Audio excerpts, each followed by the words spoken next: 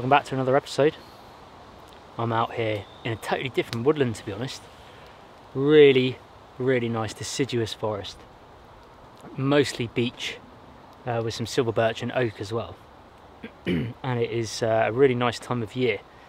It's about middle of October now, so for us here in England, that's coming into prime autumn time in about two weeks.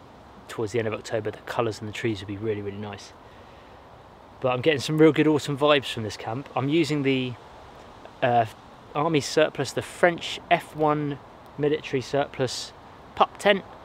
Uh, it's a two-man tent, I think. First time ever using it. I got it second-hand online. Um, it's not the heavy old-school canvas one. It's kind of that more modern, I think it's nylon material. But I'm interested to give it a go. It's really spacious compared to the lavvu. Not on the height, but on the, the width inside not the not the sort of nicest when you set up in terms of I like the shelter to be as tight as possible. It's really hard to get taut or tight, so maybe you guys out there who use that type of tent have some tips on uh, how to kind of stretch that material. I've done it as best I can, but just sat here enjoying a coffee and roasting up some chestnuts. Look at these. Oh, they're almost ready actually. I just foraged those from uh, just over about 100 yards away from a sweet chestnut tree. Um, the nuts are quite small and they're not fully uh, kind of ripe as you'd say, but uh, those ones that have kind of white in them I find are actually nice and sweet and the squirrels often get to those first. So I managed to, where we've had really strong winds this October so far, um, the, they've fallen quite early, so I managed to time it today where the winds were really strong this morning and I got in and I beat the squirrels to it. Got the fresh ones so yeah, just gonna, this camp is all about enjoying using a new tent. Got wool blanket with me, mostly traditional gear, and just, yeah, enjoying the woods and the forest this time of year is the best time of year for camping. So thanks for joining me folks. Hope you enjoy the episode. And uh, yeah, let's get some good food on.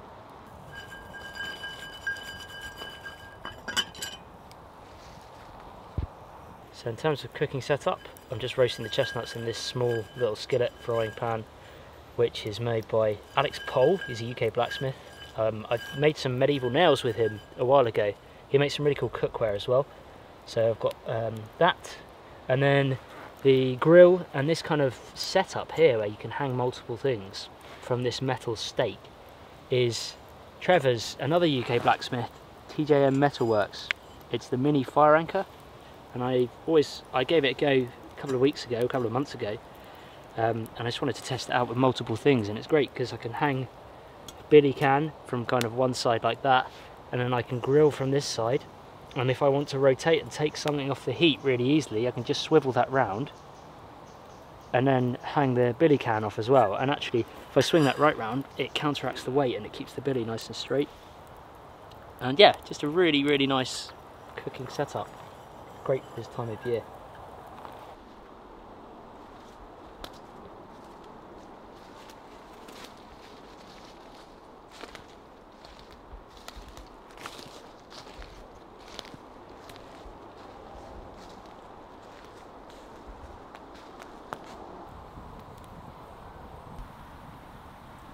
Also got myself a fire reflector just to um, well protect the fire a little bit from the strong winds.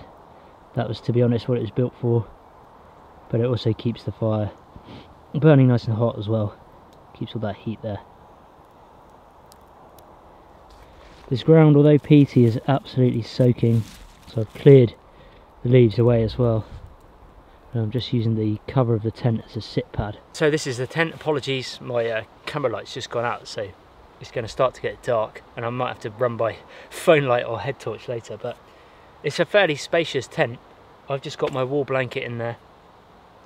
Um, and it's, it's so spongy the leaf layer here where the underneath these beech trees that I don't need a sleeping pad. Um, it's just so soft underneath the tent. So I'll lay on one side of the wool blanket and then wrap it over me.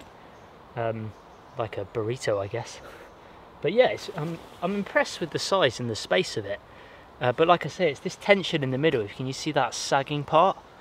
Even like that's what I'd like it to be. And every time I kind of pull it, like these rain flaps, I guess, this overhang is always not really very taut, just the way it's stitched. I'd prefer it to be a bit tighter, but The other thing is um, the metal clips that enable you to tighten the guy ropes. Uh, not amazing. I can tie knots, you know, I could do a taut guy line hitch or something, taut top hitch or a guy line hitch, and it would be a lot easier. But um, yeah, at the moment it's just getting it tight enough that if it does rain, which it's forecasted to, just trying to get stop that sagging so that the rain doesn't pull on it. It didn't come with any cordage on any of the sides. I had to put that all on myself. So whoever had it, because it's second hand, they just took it, I guess. Um, and the pegs. Let me show you the pegs. This is the pegs.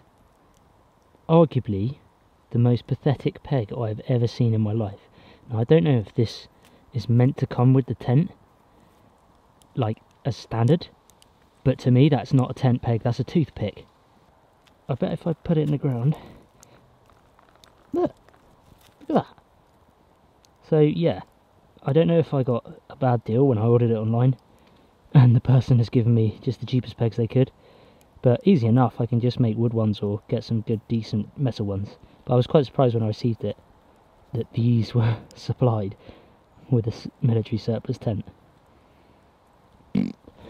Chestnuts have, that's why you put the X in them, just so they split, don't explode basically, they're still really hot, but once you peel that, it makes it easier to peel them as well. Look at this beauty. That is a beauty of a chestnut. These are going to be so much better than just kind of supermarket ones. So much sweeter. Because they're wild. And they're very fresh.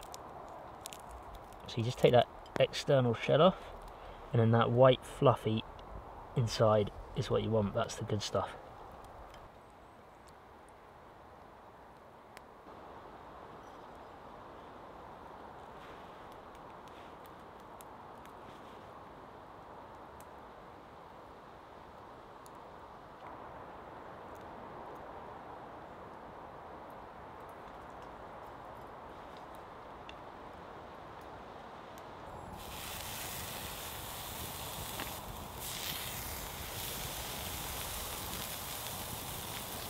Just indirectly cooking these, letting these heat up at the moment. The grill was already hot, so I'm just letting them warm up, let that flame burn down, and then I'm going to lower that grill just above the coals. Give it a few minutes each side. These are lamb, lamb uh, steaks.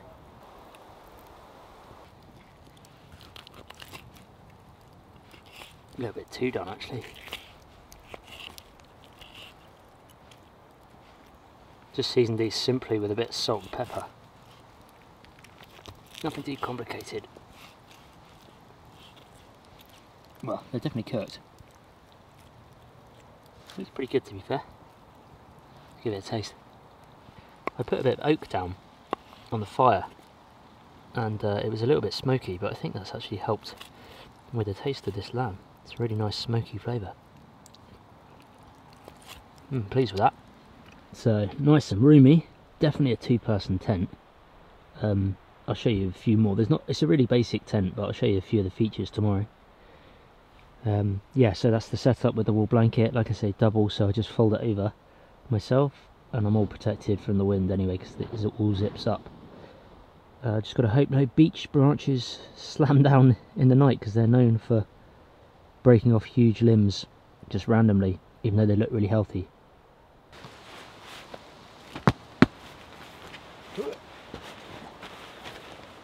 So I think you'd definitely be alright, even if you're six foot plus, because I've got at least probably a foot and a half behind me of space. Headroom is not, actually I can sit up, but my head does just about touch the top of the tent. I like it though, I like the style, I like the shape. I've not stayed in a pup tent before. They're really quite cheap and they're, they're widely available. But yeah, I was just saying about the beech trees and the branches, and I'm in a beech forest. They obviously drop their limbs uh, randomly, big, big branches. But I've made sure that where this tent is, there's no big overhanging ones. It essentially could be a widowmaker. Just be wary of that, folks. If you're out in beech woodlands, as pretty as they are, and I love them, they um, they're probably the best autumn woodland. They can be a little bit dangerous. Whew. Beautiful evening.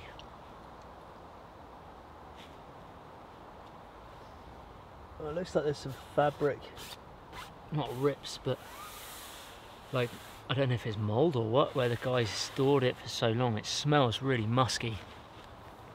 So maybe they stored it for a long time. Anyway, there's not much I'm going to waffle on about tonight, folks. I don't really want to waffle too much to the camera. So this is me. In terms of pillow, for those asking, I usually take, I've got three or four layers. I usually take this jacket layer off and use that as a pillow sometimes. Um, and like I say, I'm easily going to be warm enough from the wool blanket. Temperature's dropping down to about um, 11 degrees, 12 degrees Celsius at night, so still warm um, for this time of year. Hence the wool blanket and not needing a mattress underneath. But thank you for watching, folks. I appreciate it. I'll catch you guys in the morning. This is how I'd sleep. Like that. Night, night.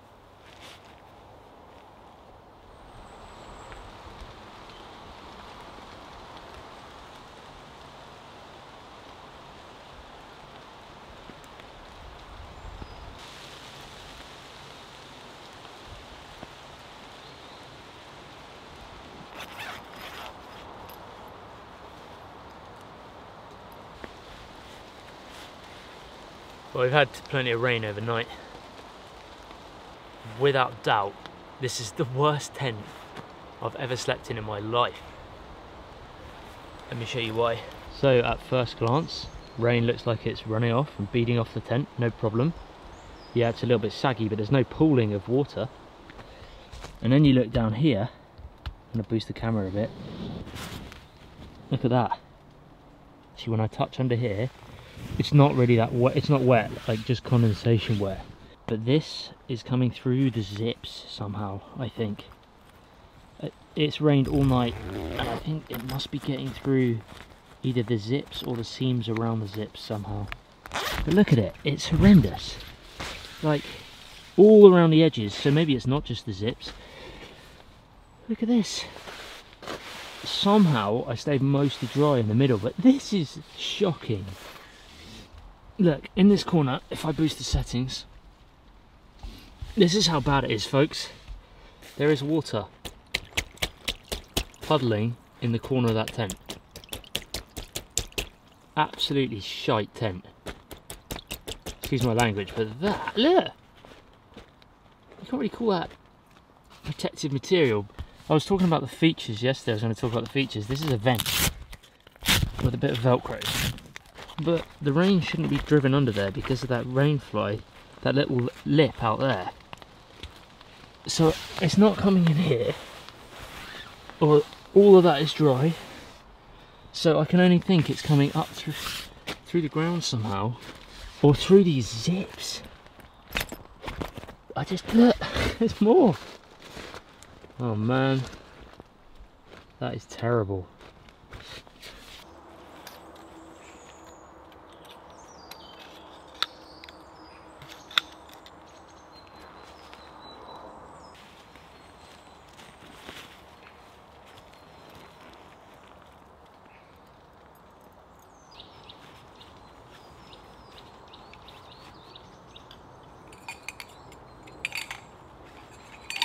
So I know that this is a two-part tent, I'm aware. And this is the rainfly. I know because it's a lot thicker material. this goes over the top. And maybe this is, well, I guess one, one person in the military would carry this, the uh, outer section, and one would carry the inner section. It's a bit like the Polish lavvu where there's two sections of the tent. But it's like I said, this material is thick enough. The rain didn't come through. What I have noticed though is here. The guy is obviously the previous owner.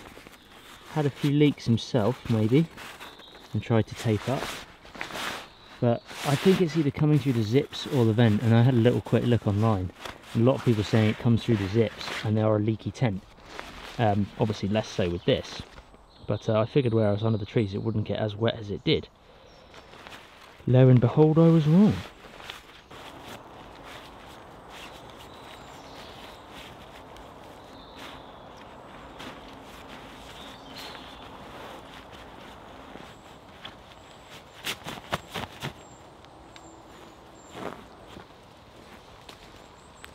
And there we go.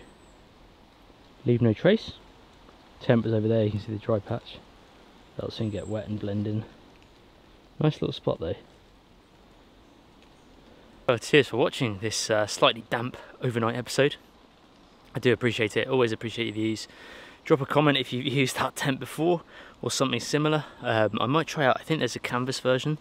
I think I'm going to give that one a go where it's sort of slightly more durable, I guess. Um, yeah, in hindsight, putting the rainfly on would have been a better idea given that I thought there was loads of cover. But um, like I said, I think it either came up from the ground or in through the zip somehow. We had quite a bit of rain in the night. Um, but I just don't think it's that good a quality of tent. It is cheap. It was only, I don't know, 30 quid or something I got it for. So it wasn't expensive um, and it was used as well. So maybe there were some seals. I probably should have done the old set it up a home test. But sometimes you've got to test yourself and um, get out there and try try things. Uh, you know, I wasn't in the, I'm not in the wilderness. Um, I'm just on a sort of small woodland patch that I, I do know. So it is what it is. Unfortunately, it's a leaky tent. But thank you for watching. I do appreciate it. And um, I'll catch up with you guys next week. See you then.